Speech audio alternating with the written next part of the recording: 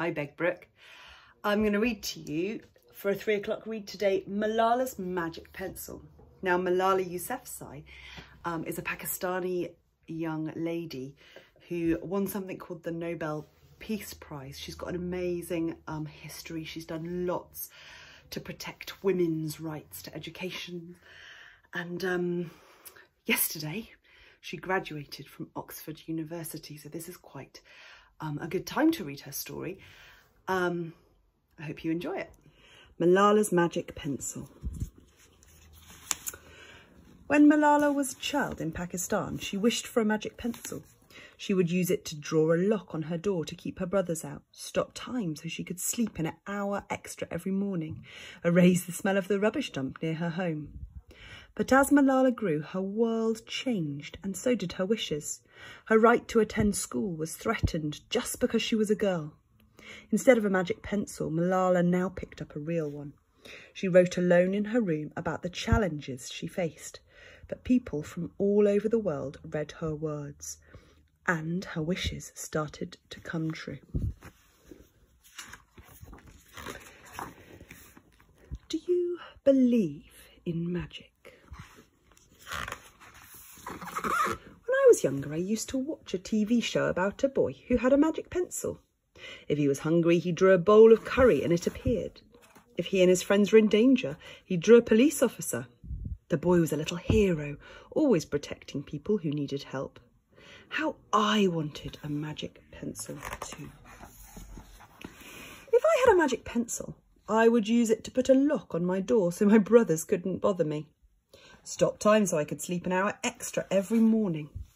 Erase the smell of the rubbish dump near our house. And I would use it to make other people happy.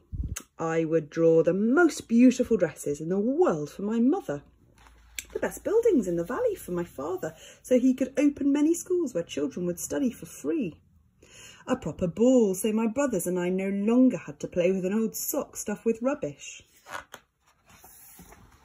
Every night before I went to bed, I wished for a magic pencil of my own. And every morning I would wake up and check my cupboard. But the magic pencil was never there. One day I was throwing away potato peelings and eggshells at the dump. I was wrinkling my nose, swatting away flies and making sure I didn't step in anything dirty in my nice shoes when I saw a girl about my age sorting rubbish into piles. Nearby, boys were fishing for metal scraps using magnets on strings. When my father returned home from work, I told him what I'd seen. It made him sad. Abba, I said. Yes, Jani, he said back. I always liked when he called me dear one. Why haven't I seen that girl in my class? Because, he said, but he didn't finish right away. Because, Jani, in our country, not everyone sends their daughters to school, and some children must work to support their family. Those boys will sell the metal scraps they find. If they went to school, their families would go hungry. School was my favourite place, but I had never considered myself lucky to be able to go. My father had always said, Malala will live free as a bird.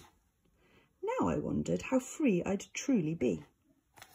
That night I thought about families who didn't have enough food and the girl who didn't go to school and even about how when I was older I'd be expected to cook and clean for my brothers because where I came from many girls weren't allowed to become what they dreamed of.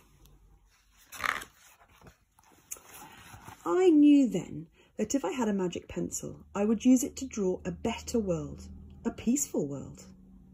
First, I would erase war, poverty and hunger.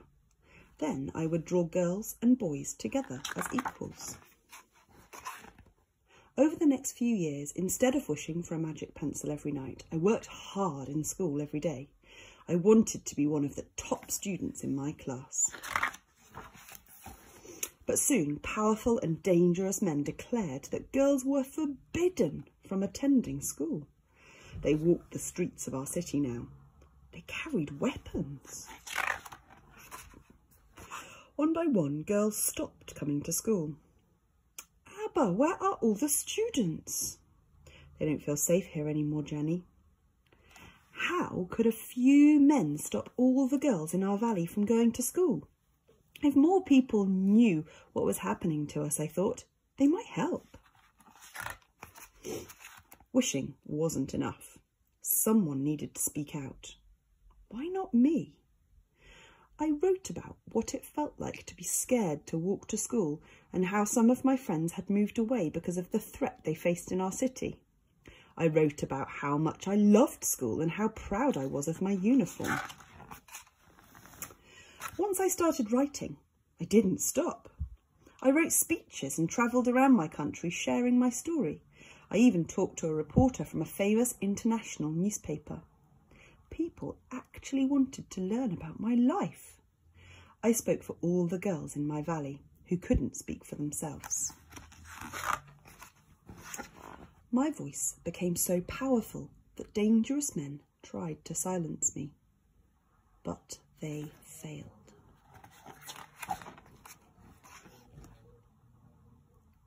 And now my voice is louder than ever louder because people have joined me and together we make a chorus standing up for what we believe. We raise our voices for those in need, help people in danger, even if they're an ocean away. Think of the world as a family. Do you still believe in magic? I do. I wrote alone in my room, but people all over the world were reading my story. Millions now know it and help me spread my message of hope. I had at last found the magic I was looking for in my words and in my work. I am Malala. I've always wished I could make the world a more peaceful place, and every day I work to make my wish come true. One child, one teacher, one book, and one pen can change the world.